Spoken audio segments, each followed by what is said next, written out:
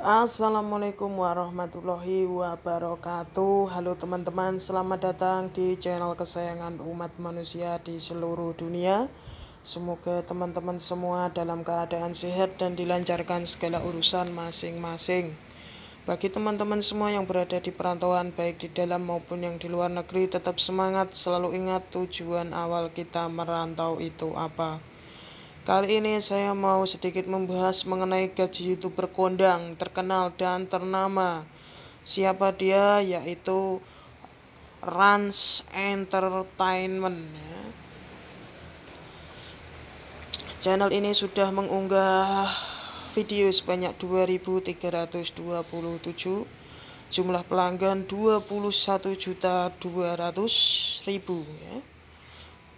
penayangan video 4 juta 4 miliar 449 juta 842 ribu 878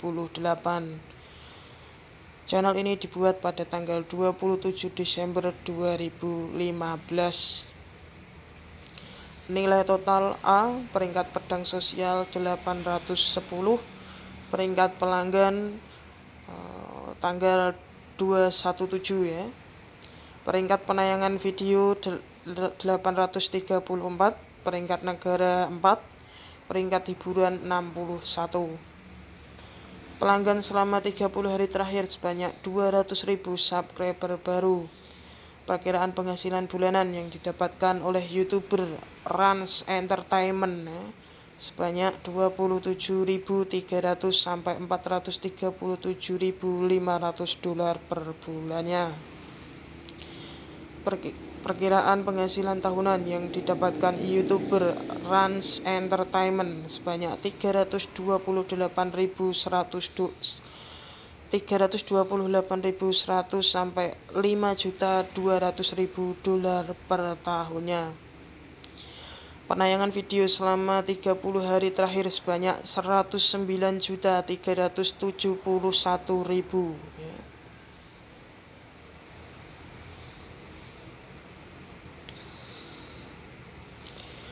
Pendapatan rata-rata harian yang didapatkan YouTuber Rans Entertainment sebanyak 911 sampai 14.600 dolar per harinya. Pendapatan rata-rata mingguan yang didapatkan YouTuber Rans Entertainment sebanyak 6.400 sampai 102.100 dolar per minggunya.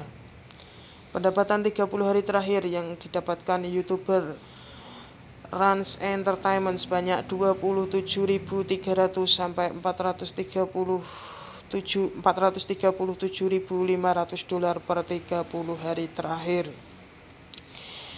Jika teman-teman ingin mengetahui de, e, dalam bentuk rupiah, teman-teman tinggal kalikan saja dengan nilai tukar dolar ke rupiah untuk hari ini. Misalnya nilai tukar dolar ke rupiah 14.000, teman-teman tinggal kalikan saja dengan jumlah dolar yang didapatkan ya. Oke teman-teman jangan lupa di like, comment, share, dan subscribe channel youtube Rans Entertainment agar channel ini semakin kondang, terkenal, dan ternama Sekian video singkat dan sederhana dari saya. Semoga bermanfaat bagi teman-teman para penonton, para family subscriber di mana pun berada. Apabila ada salah kata, penulisan maupun dalam video saya selaku Joko Anak Desa mohon maaf yang sebesar-besarnya Akhir kata wabillahi taufik wal hidayah. Wassalamualaikum warahmatullahi wabarakatuh. Sampai bertemu di video selanjutnya teman-teman.